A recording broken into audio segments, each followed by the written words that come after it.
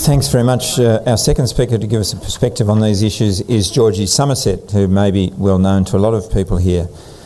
Georgie is actively involved in a family owned beef property in southern Queensland, and she told me that uh, part of the struggle to get here was some burning off yesterday and some weighing of cattle because they had to go at five o'clock this morning.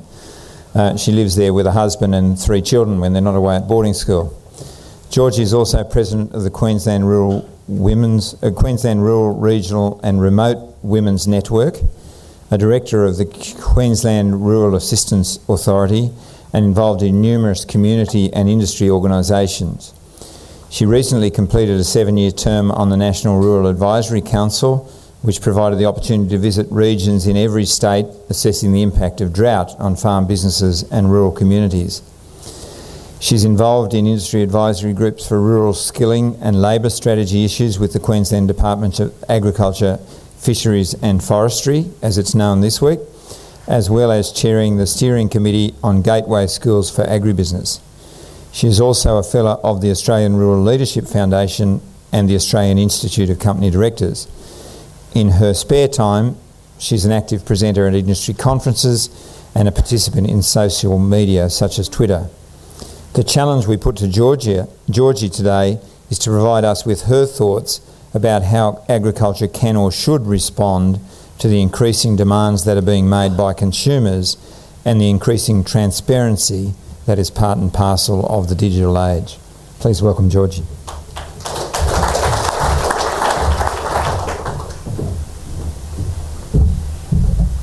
Thanks, Mick, and I'm really pleased I didn't use the Kansas video. My 11 year old daughter when she saw that, said, Well, if that was video by 11 year old, why aren't my brothers out there doing this sort of cool stuff too? So the, the challenge was laid down that the boys in our district should be producing exactly the same thing. And most of that was filmed by an 11 year old. So that gives you some idea of the capacity of a, a, a pretty simple camera at home.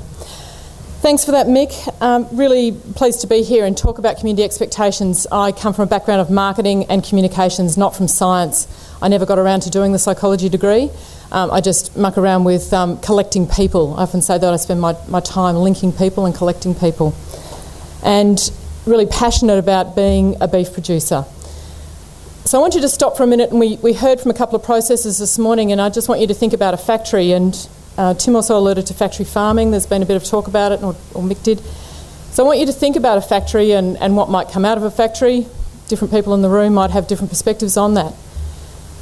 And I want you to think about a, a factory where the ceiling is actually the sky and it goes on forever. And the factory floor is a biodiversity of grasses that are a mixture depending on where that factory is. And the walls of the factory are made up of trees and fences.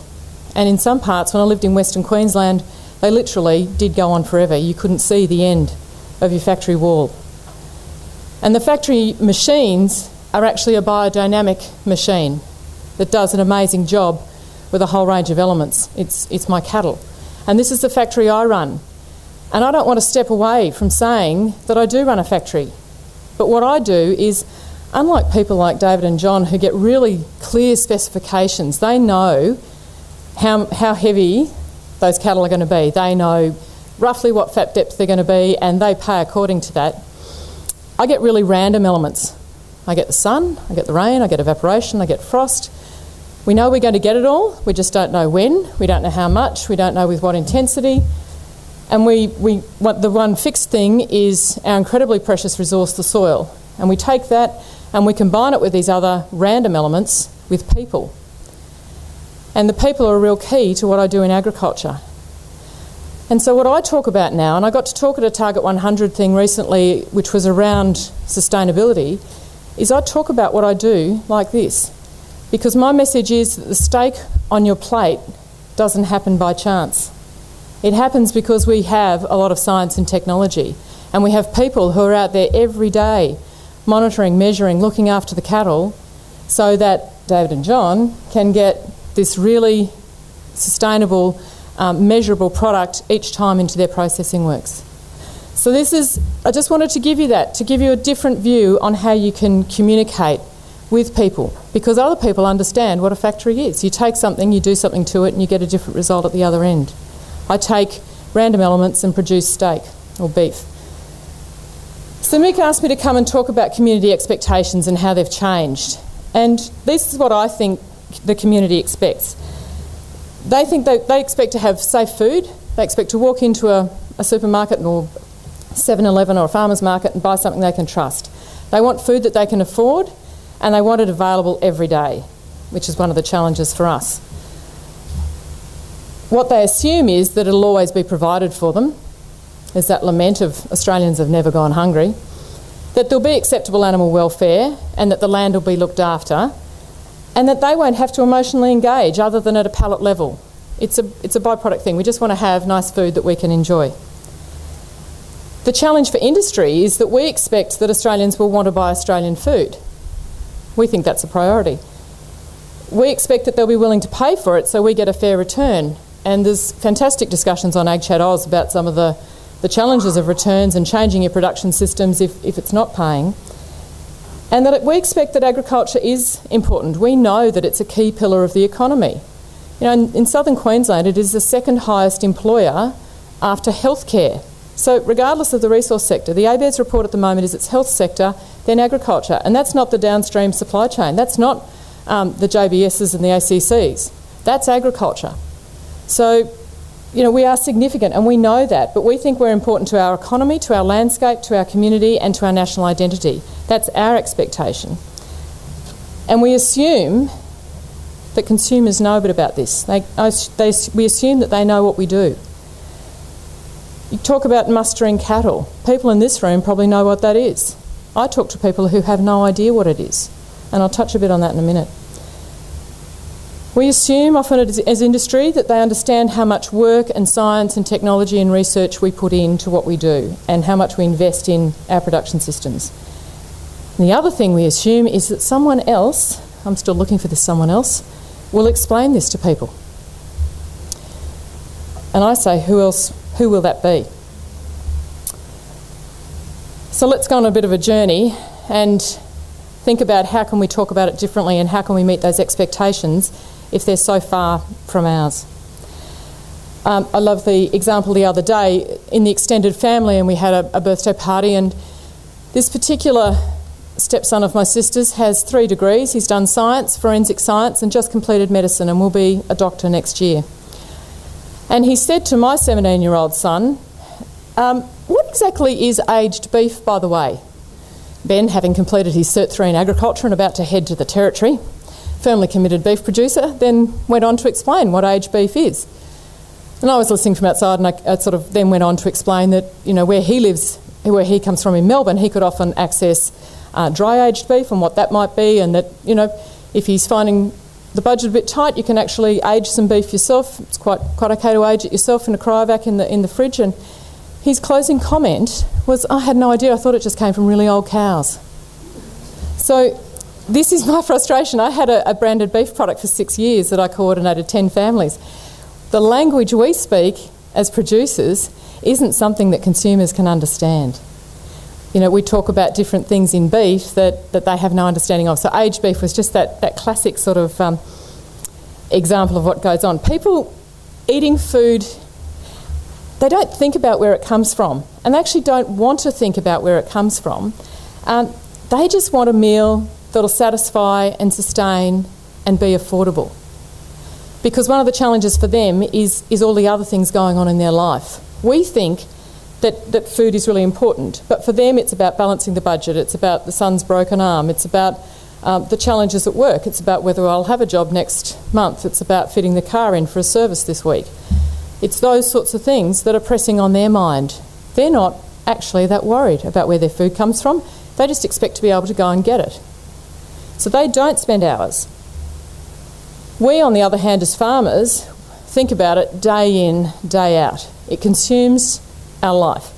Um, we think about meeting land management sort of specifications. We think about the specifications required by the end user. We think about animal welfare.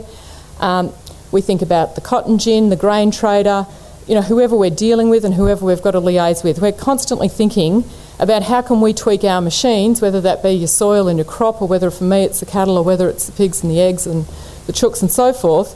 We're thinking about that constantly. But the people on the other end aren't. So this is where Tim was saying, we think science and we think people will think this is important. They just want food. And how we need to relate to them is more on that emotional level. So, one of the things that we often forget is that consumers are actually just people like us. And as industry, I think we tend to aggregate them into consumers and community. And there's a danger in that because this is about one conversation at a time. And this is where social media has come into its own, where one conversation at a time can be held to answer questions, to put forward perspectives. We might be meeting community expectation on farm, but there's a breakdown between what we do on farm and what people hear we do. And unless the people growing food and fibre in Australia understand how to communicate what they do, there will continue to be that breakdown. So we need food and fibre producers who are confident, uh, not just in how they produce, but confident in how to communicate that to other people. And that's one of our challenges. For me, while we talk in generalities about industry and consumer, relationships won't be built. So there's my thing that they need to feel confident to share their story one, one conversation at a time with people who eat food and wear clothes, and preferably both at the same time. Although, with a son, my eldest son going to school, schoolies, that might not be at both at the same time next week. Hey, Mick. So, one of the challenges is that agriculture is a broad church, and we talk about industry, but as we just heard, Target 100 is about the red meat industry. I know that other industries have got campaigns going. We're a very broad church, but how do we gather that and garner that enthusiasm and the motivation that's out there to do a fantastic job um, to, to build those relationships one, time, one at a time? Trust is the absolutely critical thing. So there's a, a, guy called Charlie Arnot, who some of you may have heard at some of the events in the last 12 or 18 months. MLA have had him out for a few, few things. He talks about Kohlberg's moral hierarchy and how farmers are incredibly trusted within that moral hierarchy.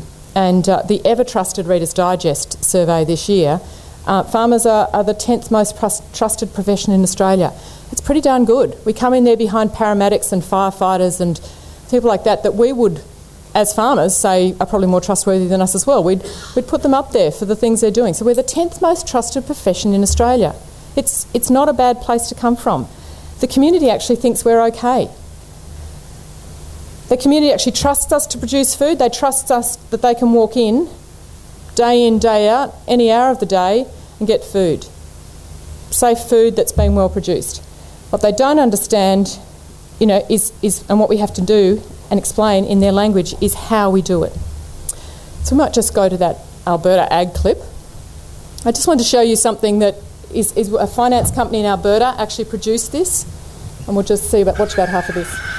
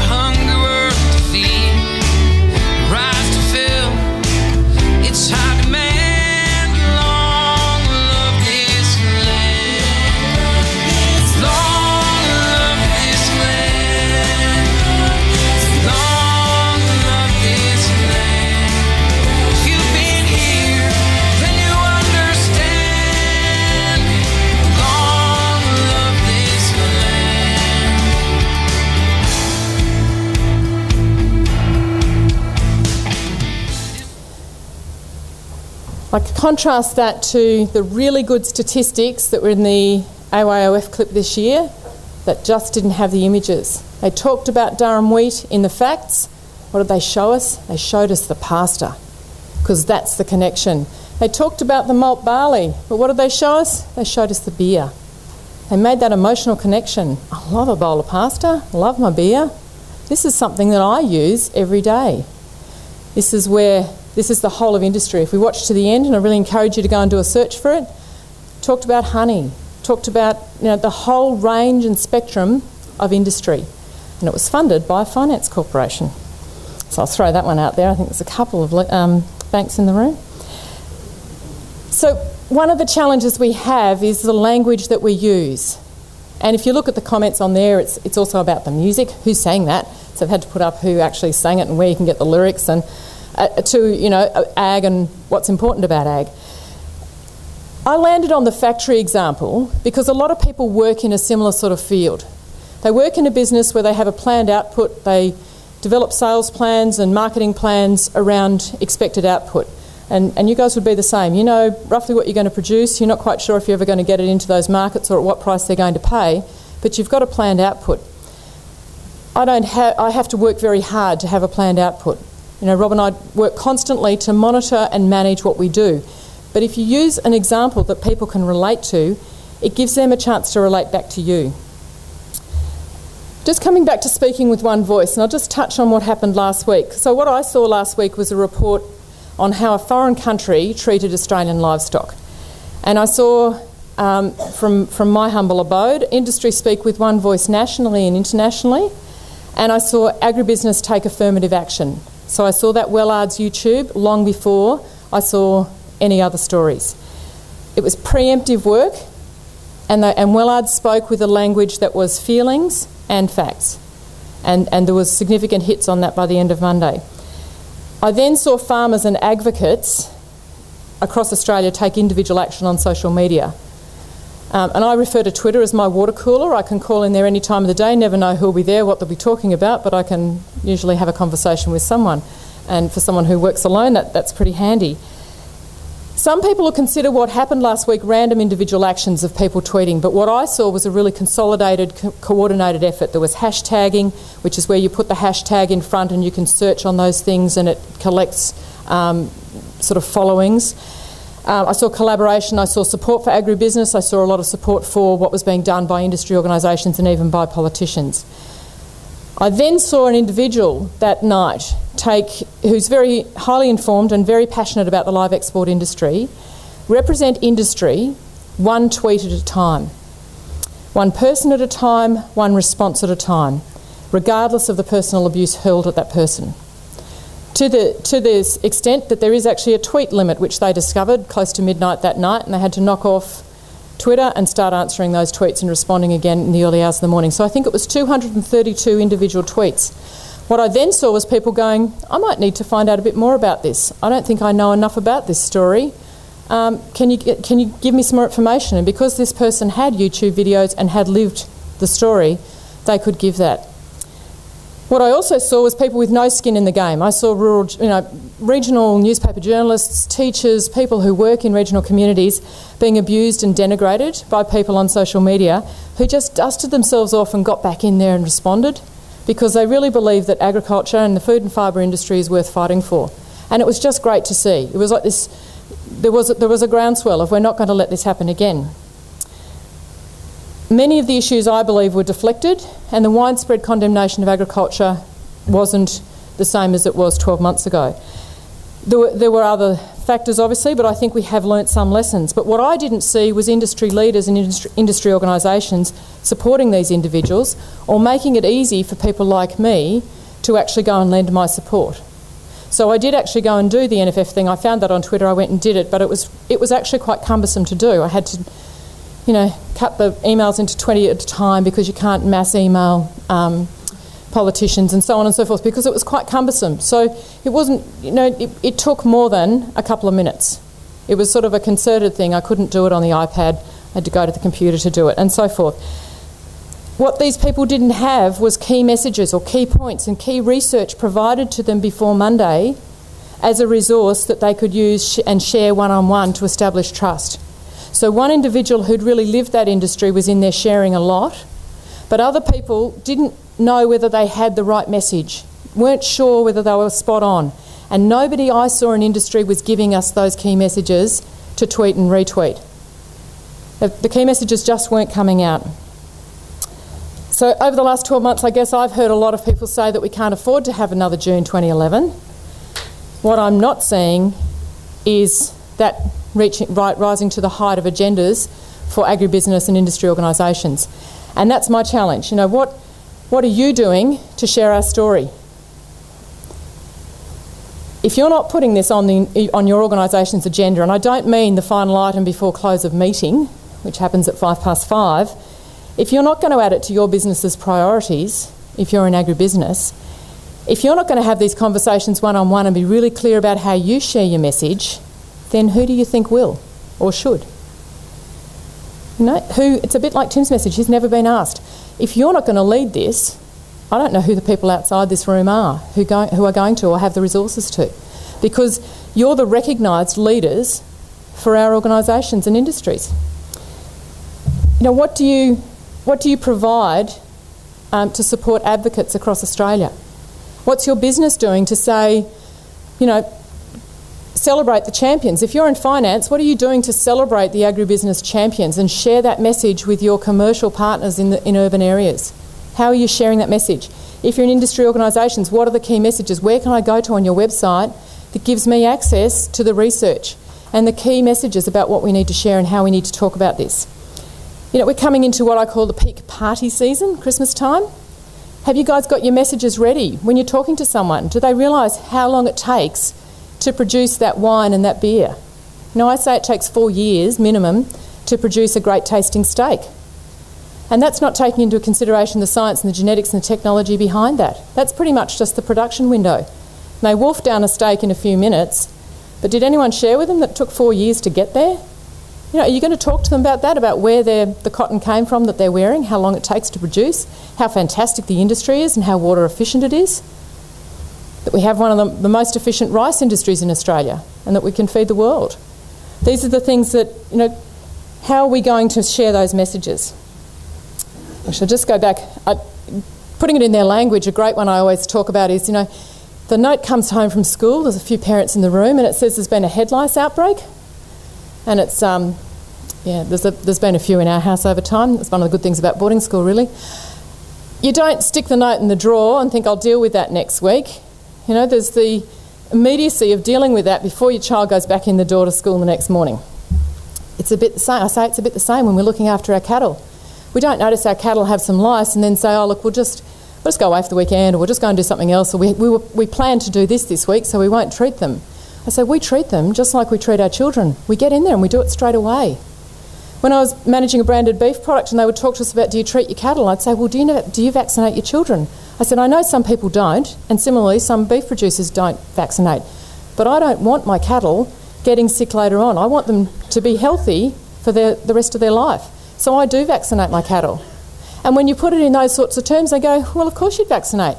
You know, you don't want them getting to 12, 14 months and getting pulpy kidney. You don't want blackleg. You know, the, so the language that you use is often about bringing it down to, to their level. So I guess for me, you know, what we often come from a point of lack, and yet I think our industry is just so abundant. It has given me more opportunities than I could have ever had if I'd gone into a traditional marketing or other, other type of career. I think it's strong and it's viable, and we're trusted to do the job well, and that we've got a strong economic future. But for some reason, we spend half our time talking about what we don't have. We've got amazingly passionate young people wanting to come in. I, I get the privilege of sitting on the Horizon Scholars selection panel and have done for three years and just recently shortlisted 50 applicants uh, for women, young women and, and mature age women wanting to study agriculture through Skills Queensland. These people want to be there. Are you talking them down? Are you talking them out? It's a bit like David was saying, he's really excited his daughter's done medicine. I sure as hell hope she's going to the bush because that's where we need them. Um, now, what, what are you doing to actually engage with these young people? Are you mentoring some young people in your, you know, to come into agriculture? Are you mentoring people at high schools, young people at high schools and universities, to take their accounting and their legal and their HR skills into agribusiness? These, this is where we need to be. We actually need to be in there, in that place, engaging with young people and telling them what a fantastic opportunity and a fantastic industry we have. And one of my eternal frustrations is how indus- this industry does such a great job of talking itself down. I've never been in an industry that is so negative about its future, and yet to me it is incredibly strong and robust and abundant. And, and the other thing is, how do you picture our trade? You know, when you speak about a, a lawyer or a teacher and the sort of training they've got to go through, or a builder or a plumber, you've probably got a clear picture in your mind of what's involved. What's involved in coming into agribusiness? Have that clear. Think about the career opportunities that you can talk about personally, one on one with young people. You know, and they're consumers. They're our, they're our next consumers. So we have actually got the third generation coming in. He's heading up to Newry Station, Ken, so you know I should come and see you for some tips. Very excited about that. But even the next one who wants to study accounting, you know, I'd sort of say, well, you could work in agribusiness. There's lots of opportunities there. And, and I believe that it's been really good to us. So I see on Ag Chat Oz, when I hop on there, young people, really energised people. I see people living in the city who are the Tims of the world who've come from the bush. They want to connect with consumers. What they struggle with is how to get that message across and how to make the link from people like me who are living and breathing it every day to the people that they're engaging with around their water coolers. How can we develop some really clear messages and some ways for them to engage? And what are you doing about it? Because if you keep leaving it to someone else, it won't happen. I think eat up might be our, our answer.